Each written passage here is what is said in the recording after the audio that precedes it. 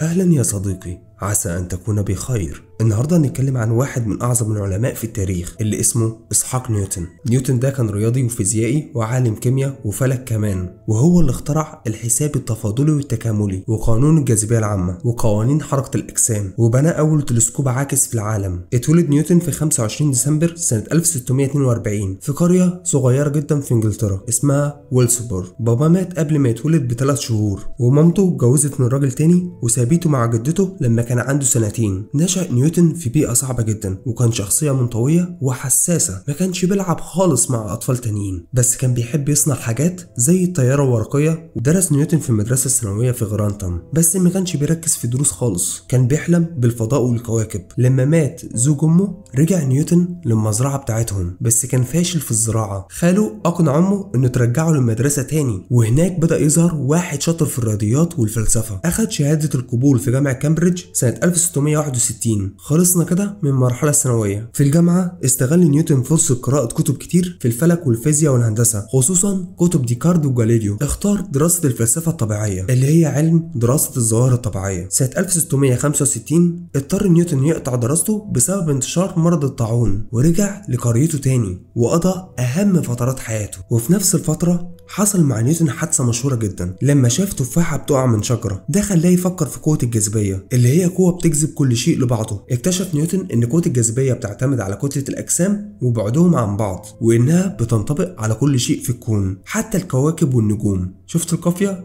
الكون والنجوم. حلوة. رجع نيوتن الجامعة سنة 1667 وبقى أستاذ للفلسفة الطبيعية اشتهر بأبحاثه في الرياضيات والفيزياء وانضم لجمعية Royal Society اللي هي جمعية علمية مرموقة جدا في إنجلترا. في سنة 1687 نشر نيوتن أشهر كتاب له اسمه الأصول الرياضية للفلسفة الطبيعية. في الكتاب ده طرح نيوتن نظرية متكاملة عن حركة الأجسام وقانون الجاذبية العامة وأثبتها بالرياضيات والتجارب.